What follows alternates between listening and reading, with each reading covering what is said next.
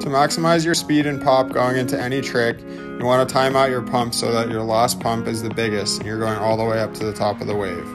To start, you want to find the back of the wave and start out with a few smaller pumps coming only halfway up the wave while your board is still under the curl of the wave.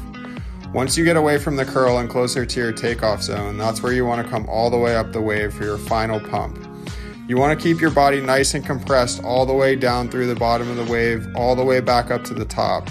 You want to release right there, right at the top of the wave to get the most pop. The other factor is the compression of your body as you're pumping.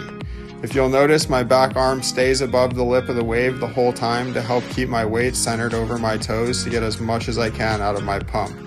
As I load up my body and compress for my trick, You'll notice that my chest is bent down, but my butt is also sticking out, which is keeping my weight centered over the board.